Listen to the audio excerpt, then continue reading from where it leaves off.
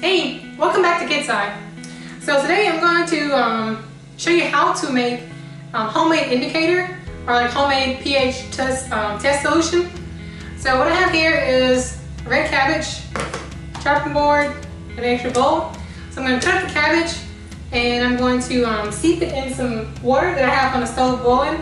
So right now I'm going to go ahead and um, chop up the cabbage. So what I'm actually going to do, I'm cutting it into chunks and I'm gonna pop it in my food processor behind me um, because it can cut it up a lot smaller than I can. But if you don't have um, you don't have a food processor, then cut the cabbage up into dices, like little dice size. Um, so that's about a centimeter cube. So, see here. Into a piece like like that. It'll take a long time, but like if you don't have a food processor, but you have a knife, so you don't always have to have a food processor. I just bought one because I cook a lot, so it just comes in handy. And I got like a cheapo one from Walmart, so I always get like $30 food processors because I put them through a lot and they break. I should probably invest in an expensive one, but the expensive one's so. So I have my cabbage in chunks and I'm going to um, put in a food processor here. So I have my cabbage in the pot with water in it and the water's at a simmer. So give it a little stir um, to make sure all the cabbage kind of is in the water. We're gonna let this simmer for about 20 minutes. And I'm gonna let it just go ahead and cool down um, naturally because I don't want to work with boiling hot cabbage juice.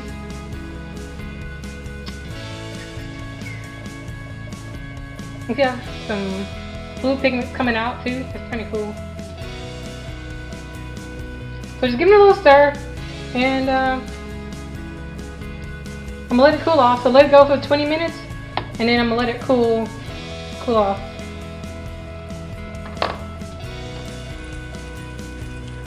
So this is my pot with the um, with the red cabbage in it, and it's starting to kind of boil over. See splatters on the stove. So I'm going to turn this off. Um, probably should use a bigger pot with a big head of cabbage, but I didn't want to use so much water. I want to get it as concentrated as possible. Uh, another thing working with this is that you want to make sure that you clean up um, as quickly as possible because you're going to end up dyeing your uh, counters and things blue.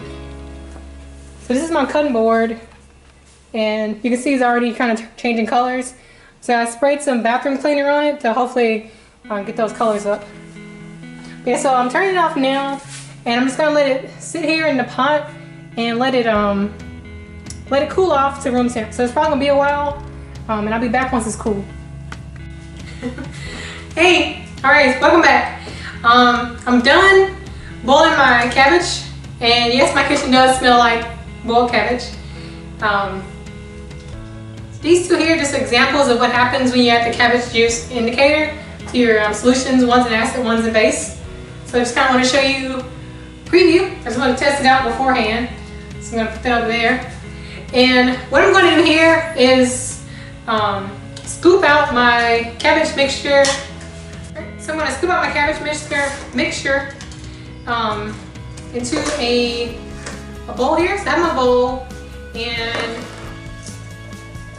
I have a, a strainer goes into the bowl and I'm putting a it's like old white towel in there. You can use cheesecloth, but I'm not gonna mess up my cheesecloth. I use these old towels to kind of clean up around the house and then I just um, put them in the wash machine with some bleach. That way you can just keep reusing them and you can get like a pack of them for about five bucks at Walmart. And I just keep reusing those until they're just like usually like inundated with dog hair, and that's when I toss them. I'm to close my dog's room, the door, because they're starting to whine. To use my ladle here and scoop out the cabbage. And remember, this will probably stain your countertops, so pretty much everything we do will stain your countertops.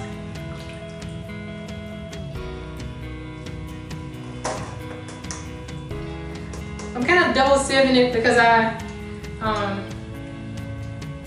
I don't want to get a lot of cabbage stuck in my main strand, which is the one at the bottom.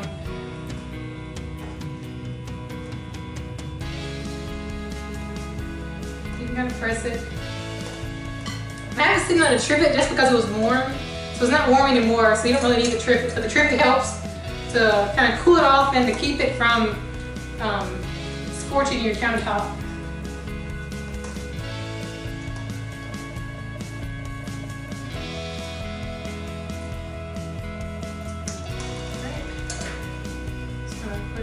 Press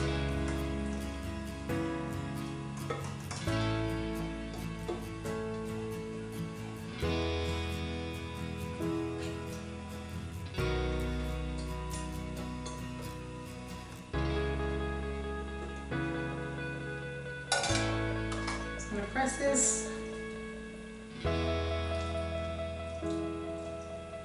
And tip up over here.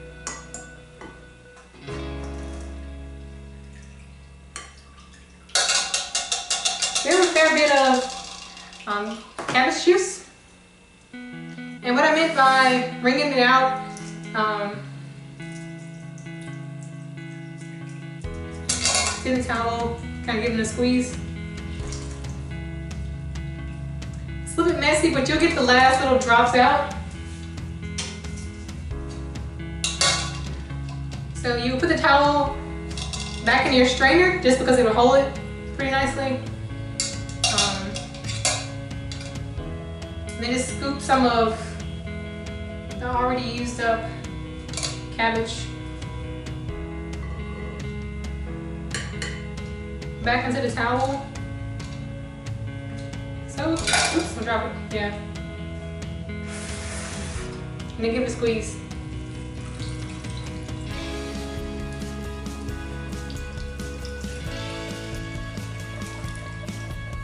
That'll give you like the last little bits of it. Just drop the used pulp back in your bowl and you know, use it for compost or something like that. All right, welcome back. So I've cleaned everything up and I have my bowl here of my indicator solution. This is what happens when you add your um, indicator to either an acid or a base. So it's gonna go over here. And I have another video showing how to use the indicator. Um, but right now we're talking about storage. So I have an old pickle jar and I have some little glass canning jars and you just want to pour it into um, your containers. And, hmm. Paper towels. You gotta have paper towels in your kitchen when you're doing science. Because you're gonna make a mess. Something's gonna spill. So, ladle it in your jar, or your little jars here, so you can store it. And I'm gonna wrap these up in foil and put them in the fridge. So indicator. There's not so much left in there, so I probably can pour it now. container. Um, I say I'm, I'm gonna get confident and try like pour this and then I'll spill it all everywhere. So I'm gonna keep ladling it until there's little left in here in the bowl. But you see you get a fair amount. So this is like a, a decent sized pickle jar. Um, or a typical pickle jar. 24 fluid ounces in here. And I'm not quite sure how big my little containers here are.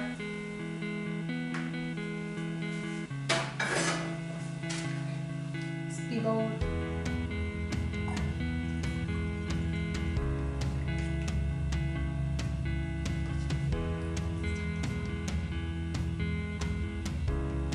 Okay, little spillage, not too much. Not too much. good. You just don't want to dye your countertops again. Like, I think I've said that every video, like you're gonna dye your countertops. So you don't want to dye them.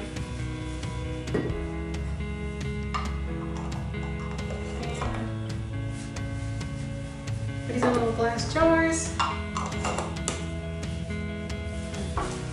Okay, I have some heavy duty aluminum foil here. And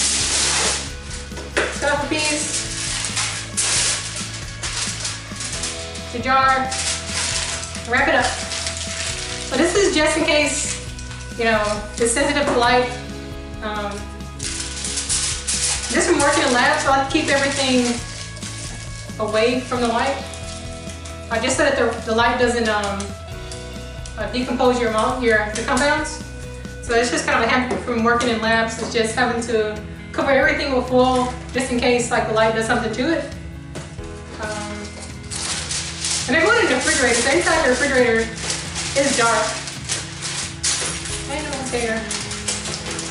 There go. These boxes always break on the edges. Alright. The oh, route, a pickle jar. So the pickle jar is wrapped up. Everything's cool. Little, two little jars also wrapped up. And these are gonna go into the fridge. Um, so my next video, I'll show you how to use the indicator um, to determine what's an acid and what's a base in your kitchen. So. Hope you enjoyed the video. Bye.